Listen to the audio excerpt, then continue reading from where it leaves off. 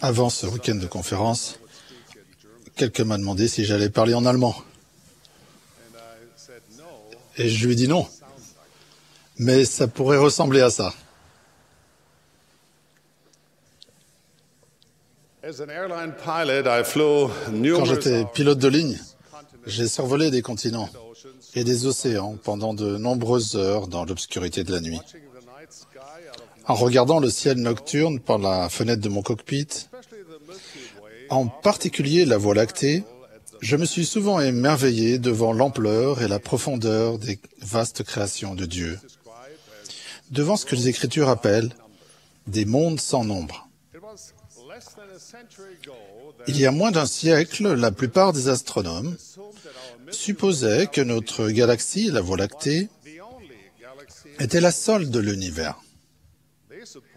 Ils supposaient que tout ce qui se trouvait au-delà de notre galaxie était un néant immense, un vide infini, froid et dépourvu d'étoiles, de lumière et de vie.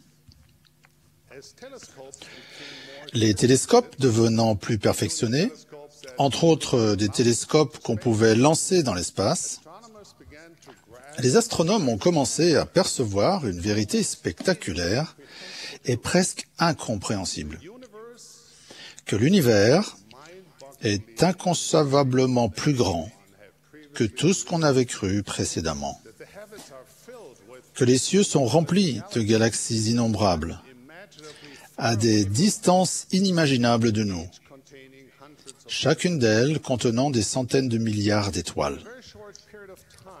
En très peu de temps, notre compréhension de l'univers a changé à jamais. Aujourd'hui, il nous est possible de voir certaines de ces galaxies éloignées. Nous savons qu'elles sont là. Elles sont là depuis très longtemps. Mais avant que les hommes aient des instruments suffisamment puissants pour capter la lumière céleste et rendre ces galaxies visibles, nous ne croyions pas qu'une telle chose fût possible. L'immensité de l'univers n'a pas changé tout d'un coup, mais notre capacité de voir et de comprendre cette vérité a changé radicalement. Et avec cette plus grande lumière, l'humanité a vu s'ouvrir devant elle des perspectives glorieuses que l'on n'avait précédemment jamais thousand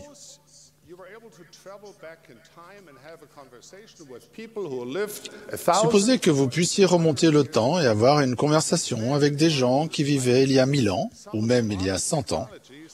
Imaginez que vous essayez de leur décrire certaines des technologies modernes que vous et moi considérons comme allant de soi aujourd'hui.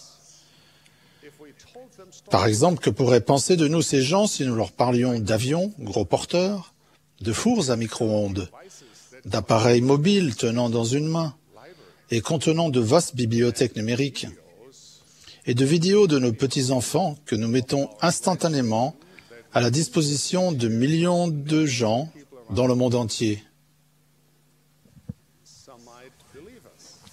Certains nous croiraient peut-être, la plupart se moqueraient, s'opposeraient, ou peut-être même chercheraient à nous réduire au silence, ou à nous faire du mal. Certains tenteraient peut-être d'appliquer la logique, la raison et les faits tels qu'ils les connaissent, pour montrer que nous sommes abusés, fous ou même dangereux. Ils pourraient nous condamner pour avoir tenté de tromper d'autres personnes. Mais bien sûr, ces gens se tromperaient complètement. Ils pourraient être bien intentionnés et sincères. Ils seraient peut-être absolument sûrs de leur opinion. Mais ils ne pourraient tout simplement pas voir clairement parce qu'ils n'auraient pas encore reçu la lumière de la vérité plus complète. Il semble que cela soit un trait commun chez les humains de considérer qu'on a raison même quand on a tort. Et si c'est le cas, quel espoir y a-t-il pour qui que ce soit d'entre nous? Sommes-nous destiné à dériver sans but sur un océan d'informations contradictoires, coincé sur un radeau que nous avons piètrement assemblé à partir de nos préjugés? Est-il possible de trouver la vérité? Mon but en disant cela est de proclamer le message joyeux que Dieu lui-même, le Seigneur des armées qui connaît toute vérité, a fait à ses enfants. La promesse qu'ils peuvent connaître la vérité par eux-mêmes. Veuillez réfléchir à la portée de cette promesse. Le Dieu éternel et tout-puissant, le créateur de ce vaste univers, parle aux personnes qui s'adressent à lui avec un cœur sincère et une intention réelle. Il leur parle dans des rêves, des visions, des pensées et des sentiments. Il parle d'une manière qui ne laisse pas de place au doute et qui transcende l'expérience humaine. Il leur donne des instructions divines et des réponses pour leur vie personnelle. Il y en aura bien sûr toujours pour se moquer et dire qu'une telle chose est impossible, que s'il y avait un Dieu, il aurait mieux à faire que d'écouter la prière d'une seule personne et d'y répondre. Mais laissez-moi vous dire ceci. Dieu se soucie de vous. Il écoutera vos questions personnelles et il y répondra. Les réponses à vos prières viendront de la manière et au moment qu'il choisira. Et c'est pourquoi vous devez apprendre à écouter sa voix. Dieu veut que vous trouviez le chemin qui vous ramènera à lui. Et ce chemin, c'est le Sauveur. Dieu veut que vous appreniez auprès de son Fils Jésus-Christ et que vous connaissiez la paix et la joie profonde que l'on éprouve quand on suit le chemin divin du disciple. Chers amis, voici une expérience assez simple à faire, assortie d'une garantie donnée par Dieu, qui se trouve dans un livre d'écriture ancienne et qui est à la portée de tout homme, femme et enfant qui est disposé à la tenter. Premièrement, vous devez sonder la parole de Dieu. Cela signifie lire les Écritures et étudier les paroles des prophètes anciens et modernes concernant l'évangile rétabli de Jésus-Christ. Non dans l'intention de mettre en doute ou de critiquer, mais avec le désir sincère de découvrir la vérité. Méditez sur les sentiments que vous aurez et préparez votre esprit à recevoir la vérité. Même si vous ne pouvez faire plus que désirer croire, laissez ce désir agir en vous de manière à pouvoir faire place à la parole de Dieu. Deuxièmement, vous devez réfléchir, méditer, vous efforcer de croire sans crainte et éprouver de la reconnaissance pour la miséricorde que le Seigneur a manifestée envers ses enfants depuis l'époque d'Adam jusqu'à nos jours, en donnant des prophètes voyants et révélateurs pour diriger son Église et nous aider à trouver le chemin qui ramène à lui. Troisièmement, vous devez demander à votre Père céleste, au nom de son Fils Jésus-Christ, de vous manifester la véracité de l'Église de Jésus-Christ des saints des derniers jours. Demandez d'un cœur sincère et avec une intention réelle, ayant foi au Christ. Il y a aussi une quatrième étape, très importante, qui nous a été donnée par le Sauveur. Si quelqu'un veut faire la volonté de Dieu, il connaîtra si ma doctrine est de Dieu ou si je parle de mon chef. Autrement dit, quand on essaye de s'assurer de la véracité des principes de l'Évangile, il faut d'abord les vivre. Mettez la doctrine de l'Évangile et les enseignements de l'Église à l'épreuve dans votre vie. Faites-le avec une intention réelle et une foi durable en Dieu. Si vous faites ces choses, vous avez la promesse de Dieu qui est liée par sa parole, qu'il vous manifestera la vérité par le pouvoir du Saint-Esprit. Il vous accordera une plus grande lumière qui vous permettra de regarder à travers l'obscurité et de voir s'ouvrir des perspectives dont la gloire défie l'imagination et que les mortels ne peuvent comprendre. Certains diront peut-être que ces étapes sont trop difficiles ou que le jeu n'en vaut pas la chandelle.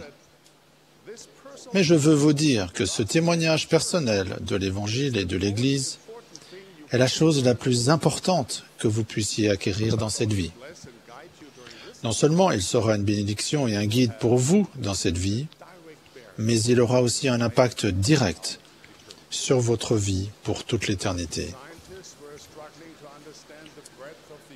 Les scientifiques avaient de la difficulté à comprendre la taille de l'univers jusqu'à ce que les instruments soient devenus assez perfectionnés pour capter davantage de lumière et leur permettent de comprendre une vérité plus complète. L'apôtre Paul a enseigné un principe parallèle concernant la connaissance spirituelle. Il a écrit aux Corinthiens, L'homme animal ne reçoit pas les choses de l'Esprit de Dieu, car elles sont une folie pour lui, et il ne peut les connaître parce que c'est spirituellement qu'on en juge.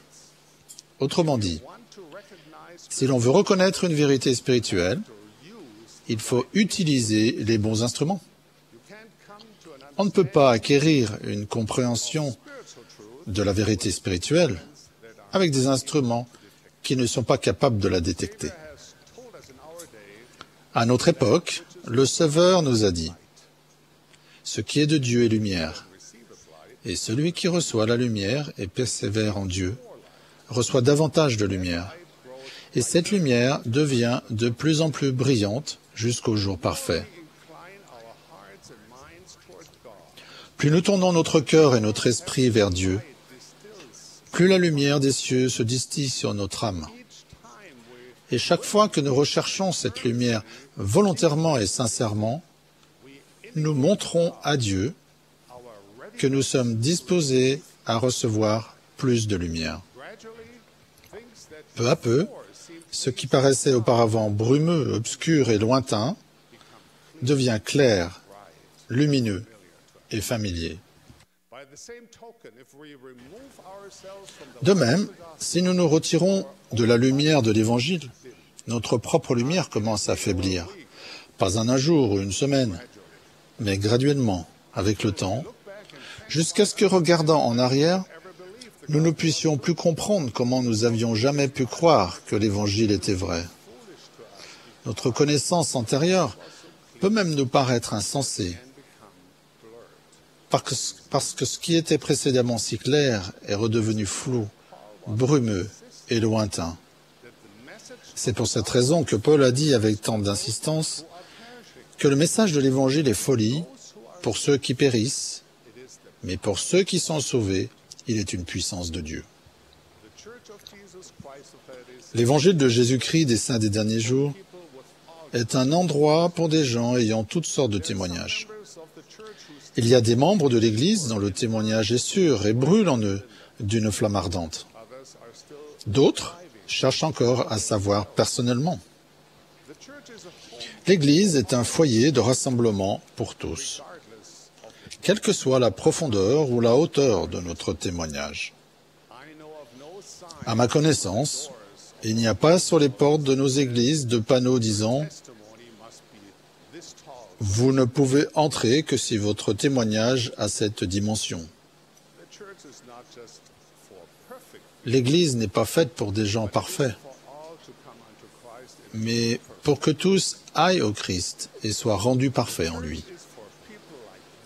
L'Église est pour les gens comme vous et moi. L'Église est un lieu d'accueil et d'édification, pas de séparation ou de critique. C'est un endroit où nous nous tournons les uns vers les autres pour nous encourager, nous édifier et nous soutenir mutuellement dans notre quête personnelle de vérité divine. En fin de compte, nous sommes tous des pèlerins qui recherchons la lumière de Dieu tandis qu'ils suivent le chemin du disciple. nous ne condamnons pas les autres pour la quantité de lumière qu'ils peuvent avoir ou pas. Au contraire, nous nourrissons et encourageons toute lumière jusqu'à ce qu'elle devienne claire, vive et vraie. Reconnaissons que, le plus souvent, l'acquisition d'un témoignage n'est pas l'affaire d'une minute, d'une heure ou d'un jour. Ce n'est pas quelque chose que l'on fait une fois pour toutes. Le processus d'acquisition de lumière spirituelle est la quête de toute une vie. Votre témoignage du Fils vivant de Dieu et de son Église rétablie, l'Église de Jésus-Christ des saints des derniers jours, peut ne pas vous venir aussi vite que vous le désirez. Mais je peux vous promettre ceci. Si vous faites votre part, il viendra. Et ce sera magnifique. Je vous rends mon témoignage personnel, que la vérité spirituelle remplira votre cœur et apportera la lumière à votre esprit. Elle vous révélera de l'intelligence pure, avec une joie merveilleuse et une paix céleste. Je l'ai goûté moi-même par le pouvoir du Saint-Esprit. Comme le promettent les Écritures d'autrefois, la présence ineffable de l'Esprit de Dieu vous amènera à chanter le cantique de l'amour rédempteur, à lever les yeux vers le ciel et à élever la voix en louange au Dieu très haut, votre refuge, votre espérance, votre protecteur, votre Père. Le Sauveur a promis que si vous cherchez, vous trouverez. Je témoigne que c'est vrai. Si vous recherchez la vérité de Dieu, ce qui peut à présent paraître faible, flou et lointain, sera peu à peu révélé, clarifié, et deviendra cher à votre cœur par la lumière de la grâce de Dieu. Des perspectives spirituelles sublimes, inconcevables pour l'œil humain, vous seront révélées. Je témoigne que cette lumière spirituelle est à la portée de ch chaque enfant de Dieu. Elle éclairera votre esprit, apportera la guérison à votre cœur et la joie à vos jours. Mes chers amis, ne retardez pas le moment de rechercher et de renforcer votre témoignage personnel de l'œuvre de Dieu, l'œuvre de lumière et de vérité. Votre témoignage personnel de lumière et de vérité sera non seulement une bénédiction pour vous et pour votre postérité dans la condition mortelle, mais il vous accompagnera aussi à toute éternité, parmi des mondes sans fin. J'en témoigne, et je vous donne ma bénédiction.